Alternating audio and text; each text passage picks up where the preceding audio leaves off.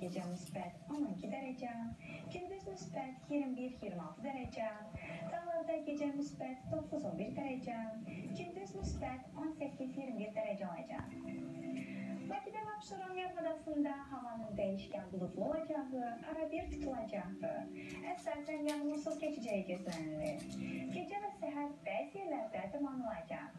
Bölüm şimal qərb küləyi gündüz arabir güclənəcək. Havanın temperaturu gecə müsbət 12-15 dərəcə, gündüz müsbət 18-21 dərəcə, Bakıda gecə müsbət 13-15 dərəcə, gündüz müsbət 19-21 dərəcə olacaq. Herbok boru məhsullarının sponsorluğu ilə hava haqqında məlumatı izlədiniz. Evdə qalın, sevimli kanalı izləyin. Hələlik.